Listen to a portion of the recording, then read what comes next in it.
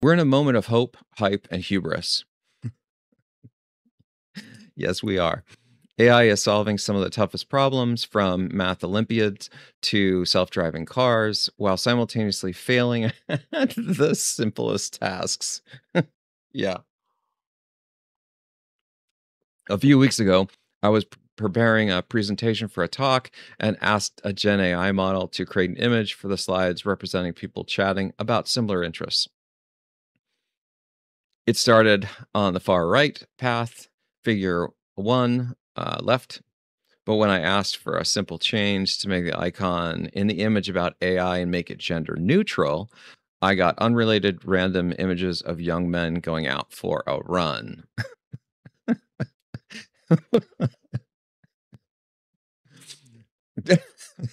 okay.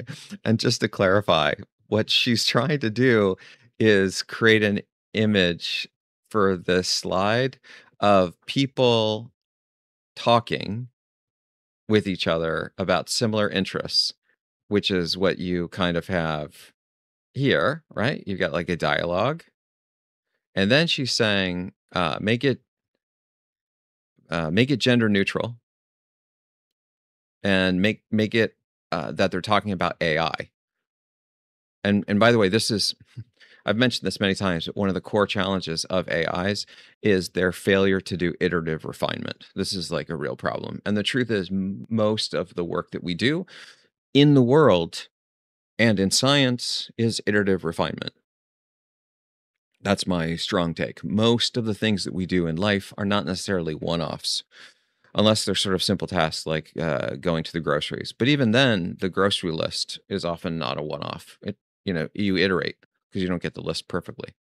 So she does this, and then it goes from two people talking. And now this is probably the opposite of gender neutral. Uh because they're all men.